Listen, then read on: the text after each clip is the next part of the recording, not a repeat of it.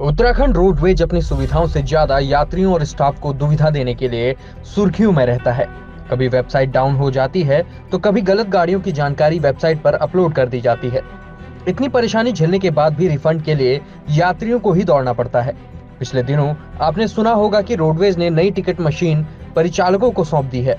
लेकिन नई मशीन सिरदर्द का विषय बन गई है, क्योंकि पिछले तीन दिनों से सर्वर डाउन होने की वजह से बसों को यात्रा पूरी करने में देरी हो रही है। सर्वर ठीक से नहीं चलने की वजह से टिकट मैनुअल काटे जा रहे हैं और ऐसे में देरी होती है। विभाग की लापरवाही के चलते परिचालक और यात्रियों के बीच विवाद की स्थिति भी पैदा हो रही है।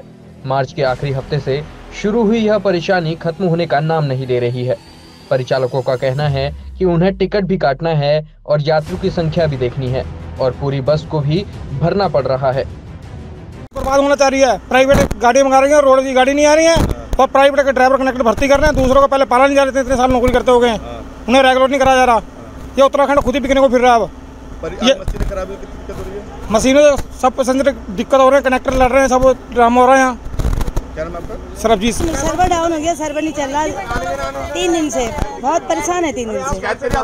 हाँ हाँ जी। क्या हो है? कह रहे हैं वो लोग? सर्वर कुछ पैसा ऐसा जमा नहीं है सर विभाग से। है हाँ दिल्ली से बंद कर दिया है। आज से मैनुअल से जा रहे हैं। तो मैनुअल में आपको दिक्कत हो बहुत रही है? दिक्कत हो रही पैसेंजर बहुत परेशान कर रहे हैं। क्या नाम आपका? नीमा डाला गोटी मे, मेरा नाम मोहित कुमार है। मैं हल्द्वानी डिपो में परिचालक हूँ। कानपुर मैनुअल गए थे हम। वो आज सुबह सात बजे से आकर के ये देखो आप ग्यारह बजने जा रहा है। अभी कैश जमा नहीं है ना बेबिल अब चेक हो रहा है। इतना टाइम मशीन आने के क्या प्रॉब्लम मशीन न होने की वजह से ये प्रॉब्लम है। वैसे होता तो फ्री हो जाते। सर्वर काम नहीं कर रहा है तीन दिन वो तो है ही गवर्नमेंट की लापरवाही